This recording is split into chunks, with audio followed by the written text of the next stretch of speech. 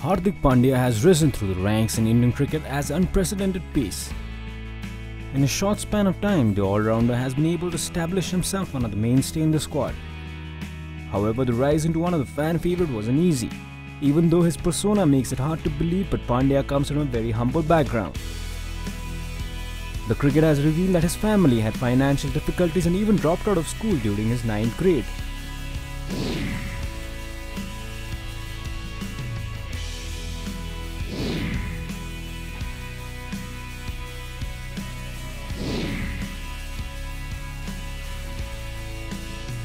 In the end, the decision turned out perfectly fine, as he is one of the top cricketers in the country and will continue to grow.